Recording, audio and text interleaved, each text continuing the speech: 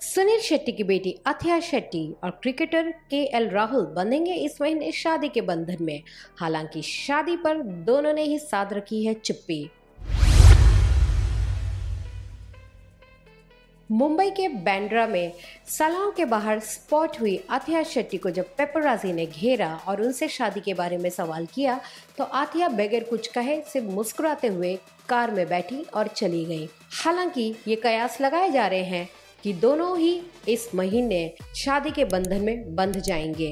Sources के अनुसार दोनों के घरों में शादी की तैयारियाँ जोरों शोरों से चल रही हैं और ये ग्रैंड लेवल की शादी होगी।